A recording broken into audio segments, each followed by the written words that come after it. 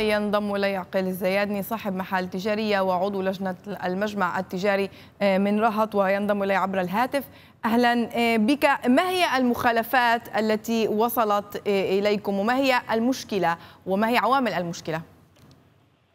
أختي الكريمة بداية يعني أنا أشكركم على استضافتي في هذا البرنامج.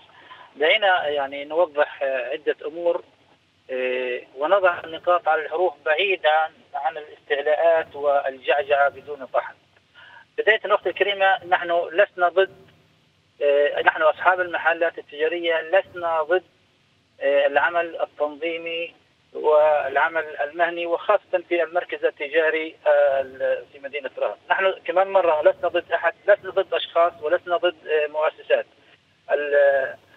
الغرض هنا أختي الكريمة الاختلاف هو اختلاف في في نوعية العمل وحقوقنا المشروعة في هذا المجال. أختي الكريمة يعني أنا استمعت إلى تقريركم. واستمعت إلى تعقيب مدير الشركة الاقتصادية والذي هنالك خطأ. الشركة الاقتصادية هي ليست الذراع الاقتصادي لمدينة رهط الشركة الاقتصادية مشروع مسؤولة عن مشروعين مشروع بركة الغدير والتي يعني لا نرى يعني لم تعيد بفائدة اقتصادية على المدينة وخاصة لو نظرنا إلى تقرير الموازنة سنة 2020 لهذه المشروع ومشروع صغير لافتات في وسط المدينة. أختي الكريمة لو ذهبنا إلى المراكز التجارية في أقرب مدينة لنا وهي مدينة بير السبع، هذه المراكز والذي تحتوي داخلها كبرى الشركات العالمية هي قد أعفت هذه المحلات التجارية من من دفع بدفع مقابل ركن المركبات هل تواصلتم مع جهات مسؤولة لإعفائكم من الدفع؟